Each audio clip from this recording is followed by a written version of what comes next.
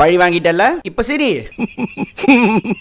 அது என்ன மேட்டர்னா இத்தனை நாளா பிரியாணில ஸ்பைஸ் இல்ல மசாலா இல்லன்னு சொல்லிட்டு இருந்த நம்மள. இன்னைக்கு நீ சாப்பிட போற பிரியாணில எதுவுமே சொல்ல மாட்டேன்னு சொல்லி என்னை கூட்டு வந்த இடம் தான் கோடம்பாக்கம்ல இருக்க ஷாதி பிரியாணி. அதுலயும் டூ டுவெண்ட்டி நைனுக்கு frosted corn chicken biryani with Belgium சாக்லேட்ன்ற காம்போவும் ஆர்டர் பண்ணோம். அதை ட்ரை பண்ணாதான் தெரியுது நார்மல் குஸ்கா விட கொஞ்சம் நல்லாவே இருக்கு. இதுல என்ன ஸ்பெஷல்னு கேட்கறதுக்குள்ள இந்த கிளாஸ்க்குள்ள இருக்கிறது தான் மேட்ரேன் தான் அதையும் போட்டு சாப்பிட்டா தான் தெரியுது. நான் சாப்பிட்டதுலயே ஒன் ஆஃப் த ஸ்பைசியஸ்ட் பிரியாணினா அது இதுதான். இந்த ஸ்பைஸை கம்மி பண்றதுக்கே அவங்க கிட்ட மைலோ டைனோசர் ரோஸ் மில்க் ஆகலாம் வாங்கி குடிச்சோம். ஆனா அவன் கூலா சிக்கன் ஃப்ரைஸ் பவுலும் பர்கர் வித் மைலோ ஷேக்கும் நான் அவுட் பண்றான். சோ கை ஸ்பைஸ்லாம் ஜூஸ் மாதிரி குடிக்கிற அந்த ஃப்ரெண்ட் அட்டாக் பண்ணி இதை ட்ரை பண்ண சொல்லுங்க. பட் ஆனா அந்த குஸ்கா நல்லா இருந்துச்சு.